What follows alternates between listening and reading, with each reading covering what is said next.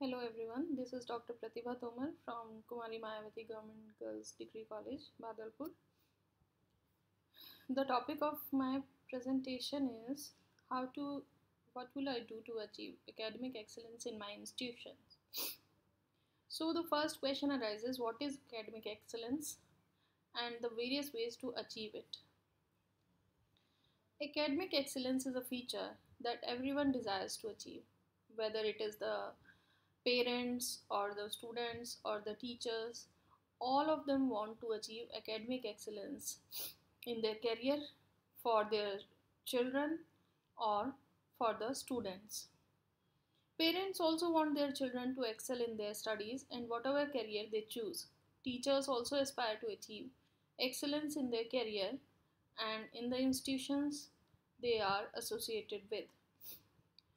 In order to explain academic excellence, it can be described as the ability to achieve higher grades in all academic activities by performing with confidence and good efforts. Academic excellence is achieved by combined efforts of students, parents, and teachers simultaneously. However, the teachers exhibit greater responsibility than anyone else for the students to achieve academic excellence.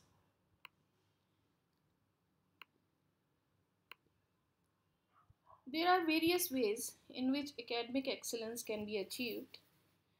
For example, instructional design quality. While there are countless of uh, factors in the academic achievement of a student, few are more powerful than instructional design this is a topic where we can publish an entire book or post of its own. But just consider that the understanding is in large part a product of design and that starts with most macro elements of all. It means what is being studied that is curriculum how the curriculum is sequenced that is curriculum maps for example and how each is designed to maximize learning opportunities. The second thing is accuracy and alignment. Accurately unpacking the standard, not oversimplifying it, not making it more complex than it has to be, is the mantra behind accuracy and alignment making sense of what the standard says and understanding exactly what the student needs to know and be able to do to get there. Accurately acknowledging the rigor of the standard, accurately, which means what it says, not what you think it should be.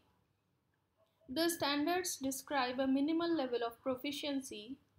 Feel free to push students above and beyond but not until they have mastered the language described in the standard. Data forms and quality is the third measure by which uh, academic excellence can be achieved. A climate of assessment and ways to measure understanding provide usable data that teachers can grab and use to revise planned instructions. Fresh, trustworthy, and relevant data teachers can use and students can understand to let them know what should come next. If it doesn't answer that question, what now? It is an assessment of narrow value. Data as in units, lessons, and activities are designed to flexibly respond to that data in authentic ways without leaving it all on the teacher's shoulders to do so on the fly or bus at the local data team meeting. For example, we can use exit slip teaching technology that can help aggregate and report usable data consistently. Whole literacy. Literacy in terms of being able to read a variety of texts both critically and holistically. The teacher should be able to decode grade level texts of appropriate complexity and then be able to take that text apart in terms of ideas, evidence, theme, and craft.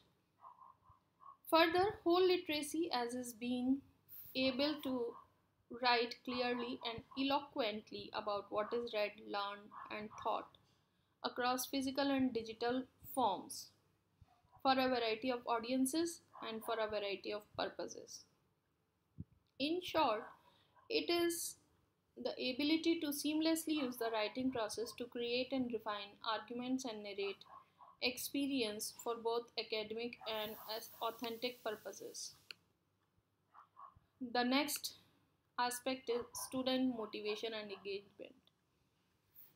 The teacher should motivate his or her students as well as the teacher should motivate his or himself himself or herself student motivation as in helping students developing intrinsic motivation student motivation as in supporting students emotionally metacognitively and intellectually to give themselves to the process of mastering academic content a student's motivation is everything. Teacher without engagement is like tweeting constantly with zero followers, singing to an empty stadium.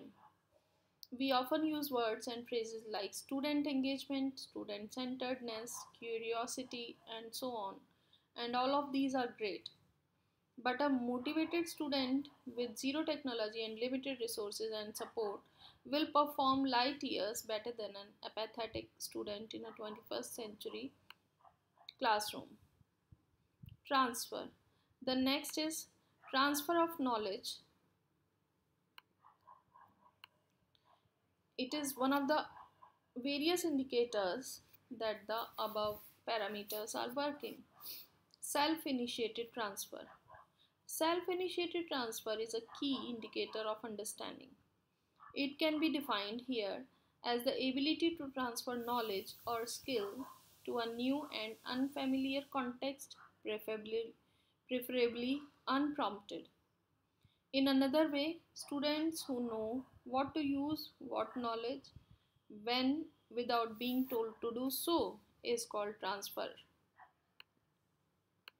Some other general factors that can be used by a teacher to achieve academic excellence in their institution are teacher clarity.